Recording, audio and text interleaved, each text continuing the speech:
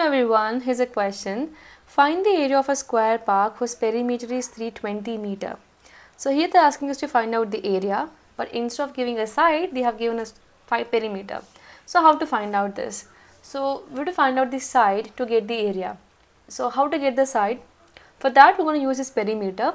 We're going to use this perimeter formula to get the side and using a side we're going to find out the area. So what is given here? We have given perimeter. So perimeter is equal to 320 meter.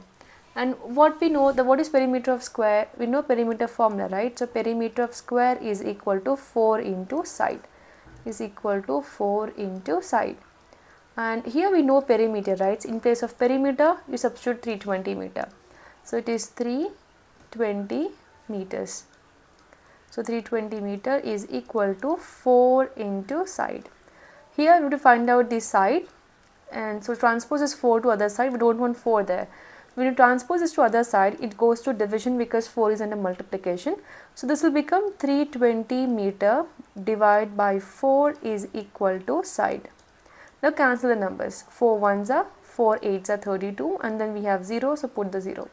So it is 80 meter. Therefore side is equal to 80 meter.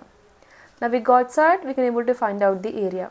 So area of square will become, so we know area of square is side into side or side square. So what is side value? Side is 80. So 80 meter whole square. Square means multiplying 80 two times it is 80 into 80. So when you do this 80 multiplied by 80 so 8 8s are 64 and then you have a 0 here 0 here 2 zeros right? So you put 2 zeros here. And it's meter square because we have meter to the power 2 so it's meter square. So it is 6400 meter square. That's it.